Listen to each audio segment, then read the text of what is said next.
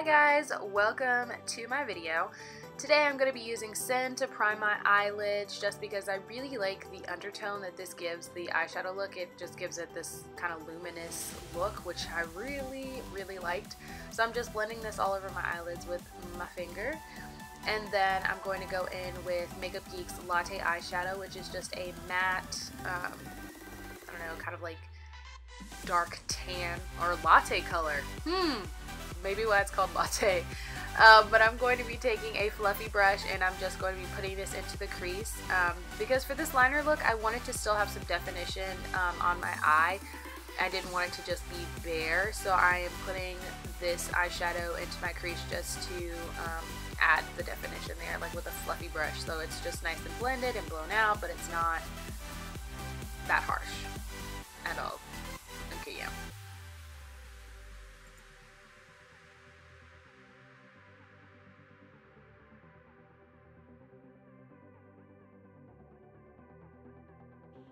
Next, I am going in with Midnight Cowboy from Urban Decay. This was in a set that is like years, years, years old, but it's just Midnight Cowboy eyeshadow, so any kind of cool tone, um, pinky shadow will work. You could honestly just use your face powder.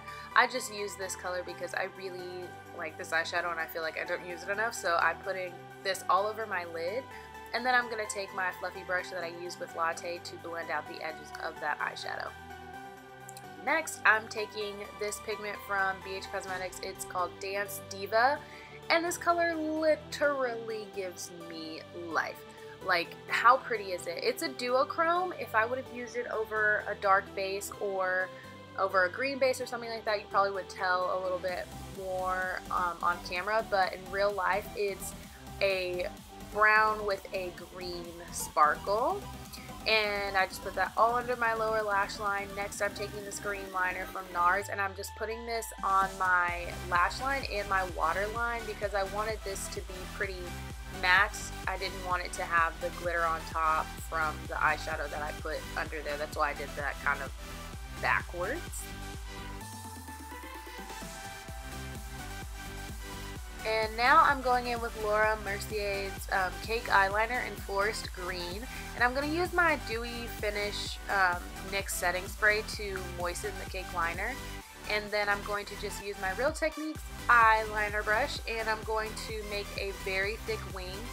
And uh, I'm really going to be focusing on making sure that the color is opaque even though that's not an issue whatsoever with this eyeliner. It's so pigmented. I really like this and I probably will get it in the black shade as well because it was so easy to work with. Um, but I'm just going to be making the wing and um, trying to get it as smooth of a line as possible.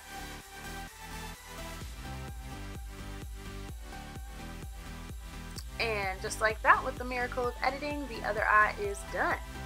And then I decided that I wanted more green, uh, more of this green liner on my eye, so I'm taking it on my lower lash line and I'm connecting it to the top liner.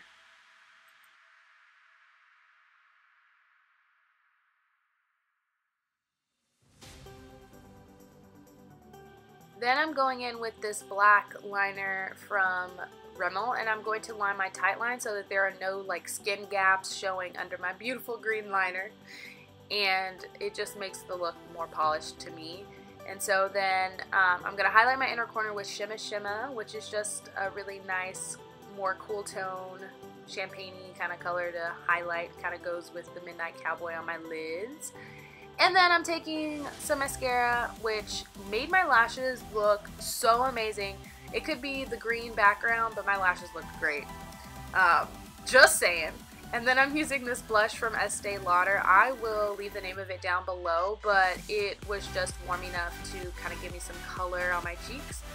And then I'm taking this um, bronzer, but I use it as a highlighter from um, Formula, and I'm going to highlight and maybe go a little bit far, too far, um, on the highlighting. So I'm going to take my foundation brush and kind of blend that in. You see me doing that right now. And then I'm going to move on to lips, the most exciting part um, of this look for me anyway. Then I'm, so I'm taking Napoleon Perdis um, Hot Pink liner or Haute Pink liner And if you are not doing three looks like me and you're just doing the one look, I recommend liner anyway because you don't want, you know, any of your lipstick to bleed, whether it's bright or not bright.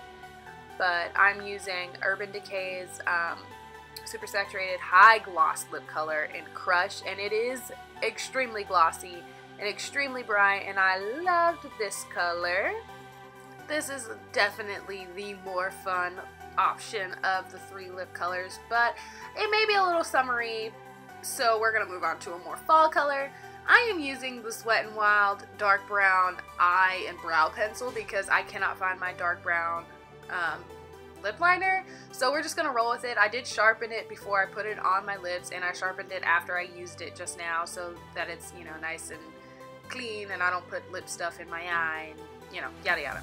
Anyway, and then I'm using this Deepest Cherry lipstick from Maybelline and I applied it and I didn't like the contrast, how like red it was pulling, so I was like, mm, I need more brown.